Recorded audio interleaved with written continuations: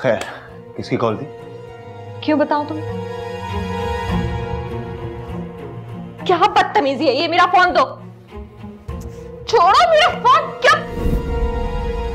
ये गलती दोबारा मत करना। एक बार थप्पड़ खा लिया था ना उसका अंजाम आज तक भुगत रही सोचो अगर ये थप्पड़ दोबारा मुझे पड़ जाता तो तुम्हारा क्या हाशर होता तुम जैसी आवारा को अगर इस घर में रख लिया है तो मेरे सर पर चढ़कर नाचो मत। अपनी औकात में रहो।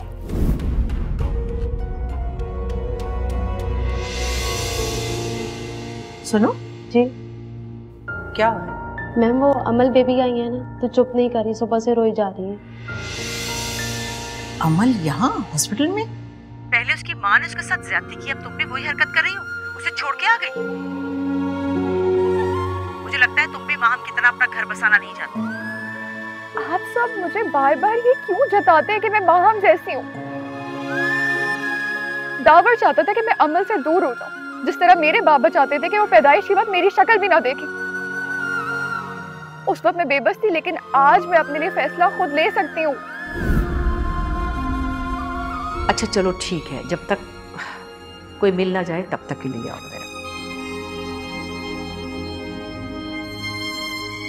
क्या? हुआ चुप क्यों? कुछ किया है उसने?